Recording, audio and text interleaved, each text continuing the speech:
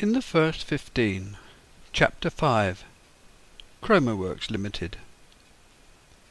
My father had generously paid for a weekly train ticket, an action meant to demonstrate to me the confidence he had in my ability to hold down my first job. He was very much of the old school, and whilst I was looking forward to a bohemian lifestyle, he, understanding the ways of the world, looked towards my dedication and perseverance to set me up for a lifetime of work. Ever since leaving home, my thoughts consumed by doubts and fear, every part of me charged with foreboding. My walk, dodging in and out of the streams of workers down Station Road, Neasden, took me away from the railway station past the bombed-out sidings and good yards that stretched as far as Wembley.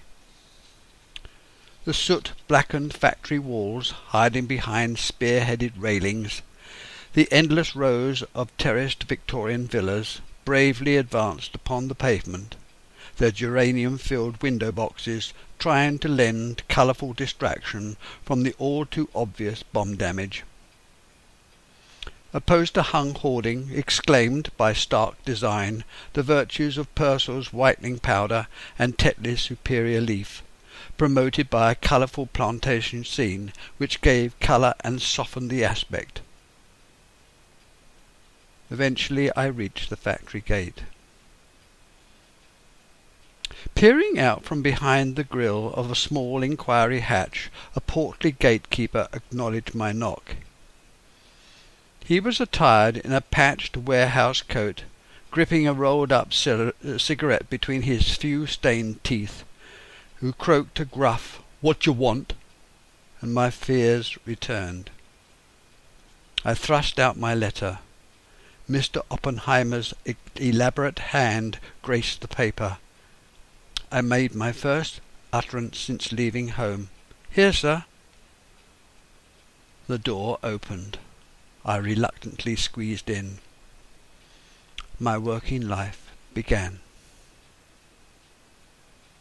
The gatekeeper showed me the clocking in procedure, having found my card, and then marched me down the long corridor which followed the whole length of the factory to the artist department.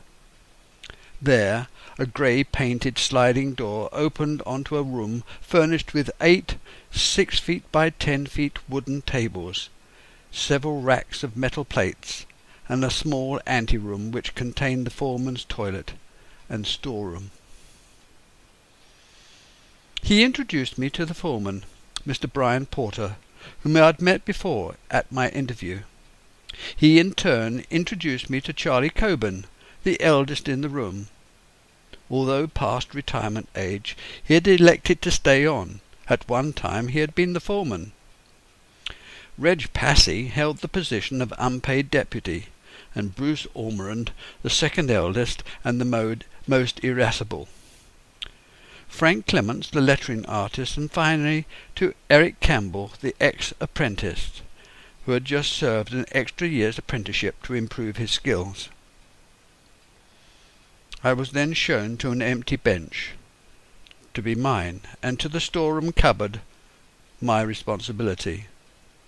It had been explained to me at the interview that I was to serve a trial period, and that if then I, I was to be accepted, my indenture, indentures would be signed and sealed, binding the binding a document made by the master and apprentice, stating the terms and conditions, and they would be witnessed.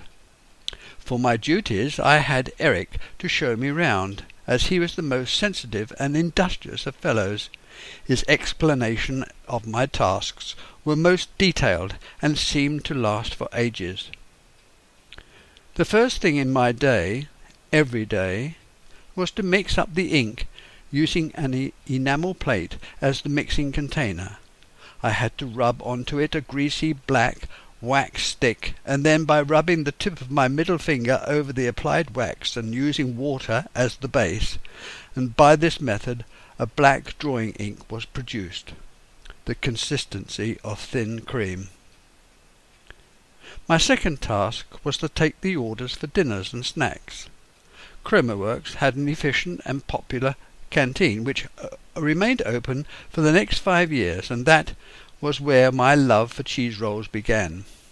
Their rolls freshly baked to a nicety and the butter and cheese unsparingly applied.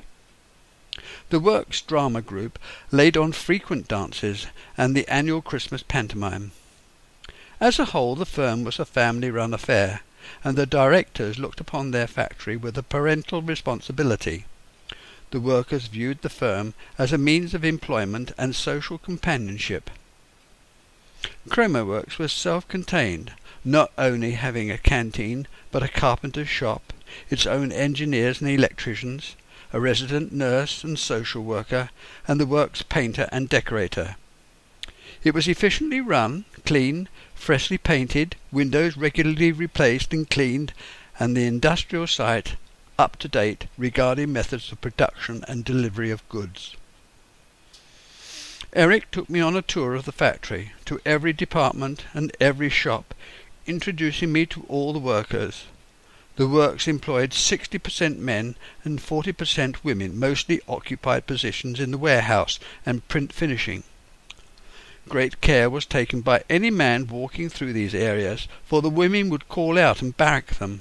However, it was all in good fun, and never got out of hand. If any of the machine minders became too fresh, they would soon be slapped down.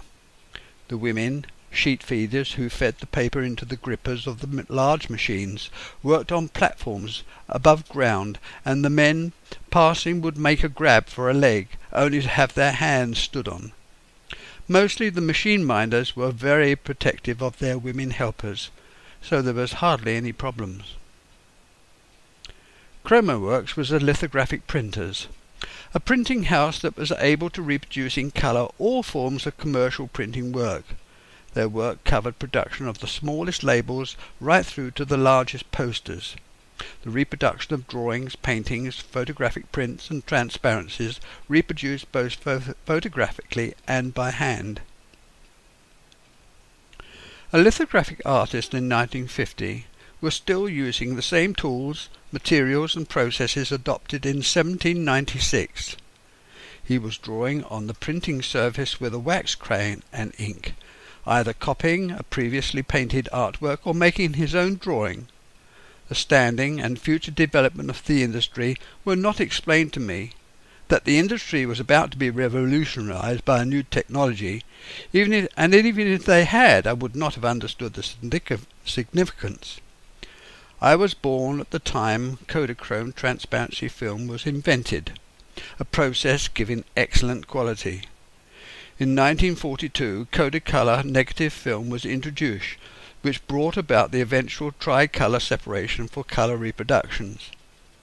It was during my apprenticeship that this discovery, and the inventions that followed, was introduced from America. By 1950, all small colour artworks were reproduced using photographic half-tone principles, adopting primary colour filters to separate the tricolour printing images. Lithographic colour retouchers corrected these separations for their spectral deficiencies. I don't know how much the men understood about the changes that would come about when the film companies introduced their new discoveries and inventions, and even by looking at the American industry you couldn't foretell the future. It has always been surprising to me how backward the Americans are in implementing new advances. Their printing process was lagging behind those of European printing houses. What was sure, because I was there and experienced it, was that in 1956 the hand-drawn poster industry was finished. Photographic film was now produced in large format size with a stable backing. Previously, photographic plate glass size was 30-20 inches. From that moment, a very quick change took place. It was a retrograde step, but customers insisted upon having their work produced using the latest technology. It is obviously obvious that multiple printing improves commercial posters, which were now printed in four colours instead of eight.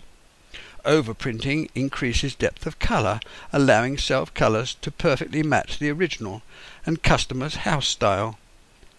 these lovely seaside posters on railway platforms would never be seen again. By the 1960s, electronic scanning began to be introduced for black and white newspaper block making using a Hell lithograph.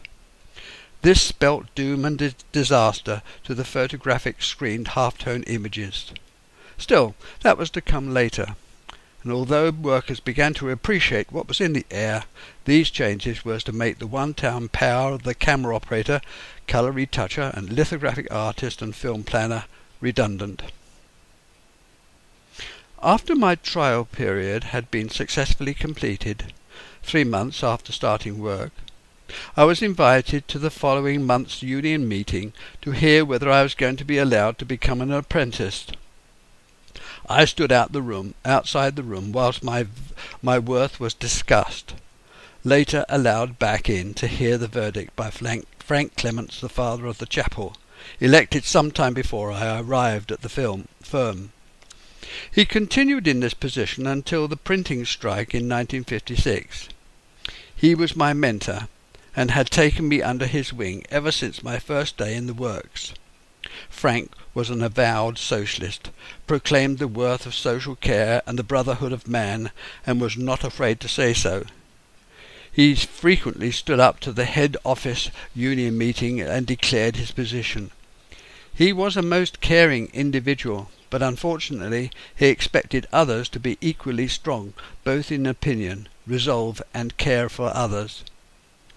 This was all very well, but his thinking didn't seem to include consideration for the management and the owners who needed to make a profit.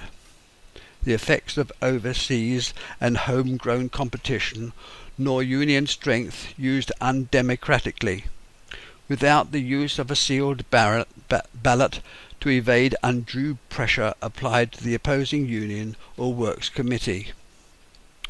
The vote was taken without dissension.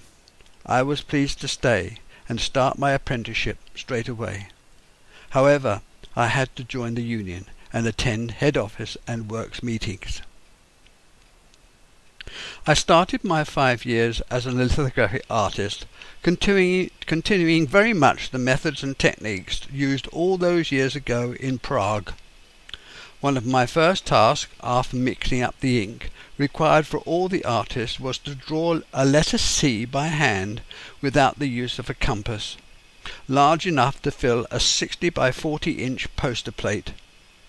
The foreman, Mr. Porter, got down on his hands and knees and gazed along the curves by turning the plate slowly round, and if there was the slightest bump or undulation I had to do it all again. I had to do that letter C over a dozen times, which took over a week, and even then he only allowed me to stop and do something else when there was grumbling from the other men that I was being unfairly treated. This sort of attention to detail followed me in all that I did. No work was accepted unless it was of the very highest standard. Eventually, such tasks were commonplace, I had to draw the whole side of a Heinz bean label. That is all the written ingredients, letters that were half an inch high. However, for this I used a ruling pen and compass. These were the first tools I bought, and I have them here before me now, a half set of compasses and a ruling pen, so frequently sharpened down that its blades are half their original length. My days at work quickly passed. There was so much that was new to me, so much which, which was a challenge. I had found, by luck, something that interested me, and eventually, after a lot of hard work, I became proficient. I was never a lettering artist, although I could produce a reasonable effort. It was lucky that we had Frank Clements, who did all the lettering in the firm and he was good at it too. Sometimes, to do small letters, he would cut down a brush handle to make a wedge-shaped tip, and use that instead of a brush. It was at colour evaluation that I found I had a natural bent. It never seemed to me to be difficult to assess how much of each colour was needed. What I did not have was the strong fingers of Reg Passy, who could lay on a three-quarter tint of chalkwork over a large poster plate, plate first time without having to build it up by continuous application of the crayon. His tint work would be so smooth without any patches. It was in 1950 that Chromoworks won the contract to produce the official poster for the Festival of Britain. This was excellent, for the firm and a whole range of posters were needed, from small underground station posters to the largest 48-sheet posters measuring 200 by 120 inches. Much of the other work printed was a succession of well-known advertisers from Tetley's, Beer, Persil's, Wash, Heinz and British Rail. Annually, Lyons Corner Shop commissioned pictures for their restaurants. What was interesting was that a number of these were the self-drawn works of well-known artists known as autolithographs. Throughout my time as an artist, the basic drawing techniques never changed. To speed up the production of vignettes and increase the brush was sometimes used Ben Day mediums, a mechanical tinting device with a raised dot structure stretched over a wooden frame charged with black ink. A pen and ink artwork or architectural drawing could be reproduced photographically that saved drawing by hand. All these methods were adopted to augment the use of chalk and ink. Towards the end of the process of hand-drawn work, great efforts were made to stem the tide of the camera taking over. However, in the end, customers wanted the latest techniques to help sell their produce, thinking that to be modern and up to date would give them an advantage. Nothing would entice the clients to stay with hand produced posters. Those changes to the industry to come about when I came out of my time as an apprentice and had served my national service was six years later.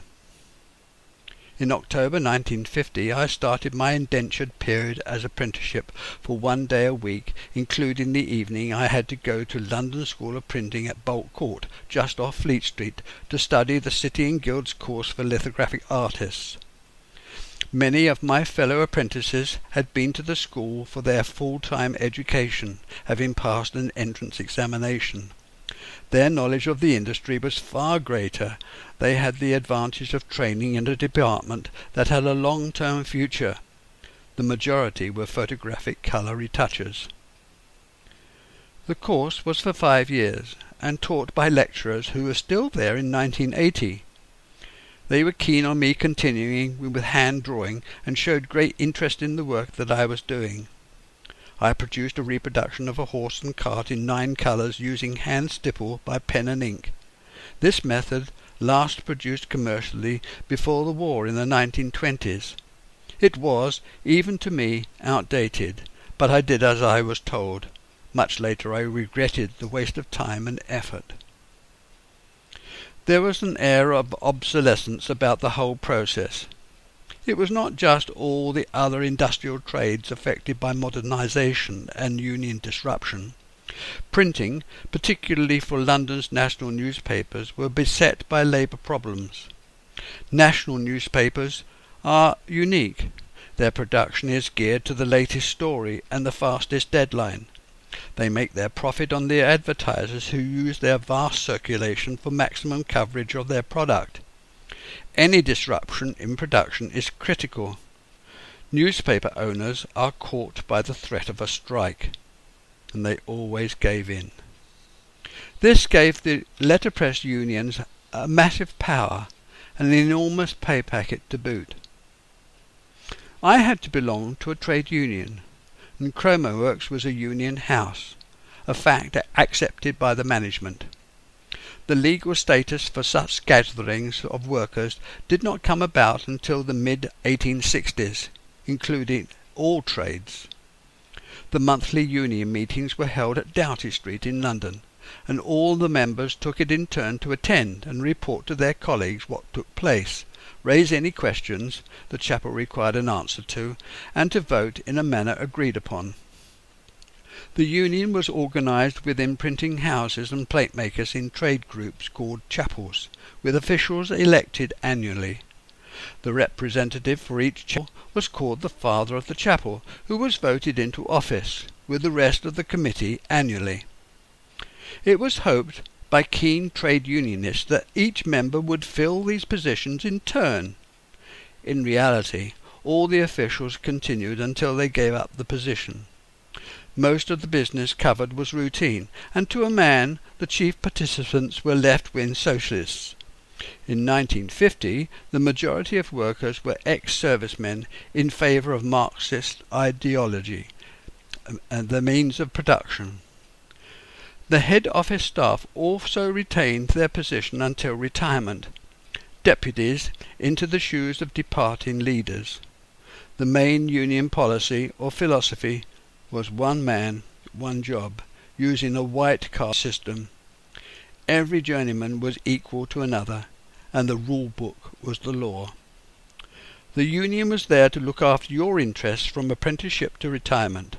And the minimum wage was set annually for a trained member based on the cost of living index.